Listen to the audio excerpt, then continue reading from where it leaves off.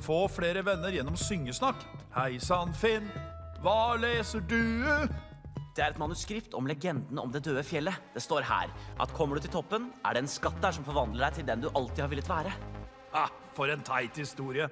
Jeg liker teite historier. Hva ville du endret med deg selv om du fant den skatten? Fiksa den forheksede gressarmen din slik at den ikke var forhekset? Nei, jeg ville vært høyere. Hvor høy snakker vi da? Vet ikke. Kanskje noen centimeter? Tja, like høy som prinsesse Sukkersøt? Å, jeg skjønner. Jake, hva ville du endret med deg selv på fjellet hvis denne legenden var sann? Jeg ville ikke ha endra noen ting. Jeg er hele pakka. Oi! Hei, det er en advarsel om det døde fjellet i boka. Ser du? Det står at en slags ond eremitt vokter fjellets topp. Ikke la han se på deg, ellers vil noe forferdelig skje. Det avgjør alt! Den doble fristelsen med å få vokse noen tommer og slåss med en ond eremitt høres ut som en ganske perfekt dag. Vi drar!